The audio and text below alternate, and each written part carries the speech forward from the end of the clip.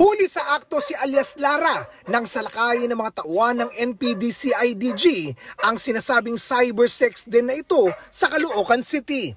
Kapalit ng pera mula sa mga umunoy banyagang parokyano, naghuhubad at gumagawa raw ng sexual acts sina Lara sa harap ng computer. And then pagpasok po namin doon, nandun po yung tumambad sa amin yung ongoing ah, cybersex activity. So nakahubad yung isa nating ah, suspect and then kasama yung mga other gay friends niya, mga suspects din po. Nabuking ng mga pulis ang umunoy iligal na gawain matapos isumbong ang suspect ng isa sa mga talent daw niya. Itong kaibigan niya na ito ay ah, may utang na loob, ah, money sa operator, sa manage- management. At so, napilitan siyang pumasok sa ganong online sex ah, activities para makabayad ng utang.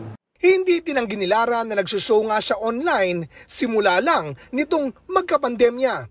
dahil po sa kahirapan ng buhay. Nagka, nagka-jowa po ako ng foreigner, tapos tinuruan po ako kung paano po kumita sa about porn site. Pero giit niya, solo lang siya sa naturang racket at wala umuna siyang ibang dinadamay.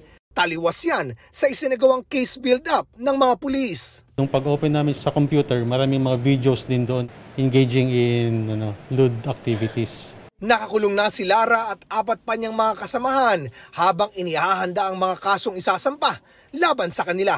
Hindi na nagbigay ng pahayag ang iba pang suspect. Oscar Oida, nakatutok, 24 oras.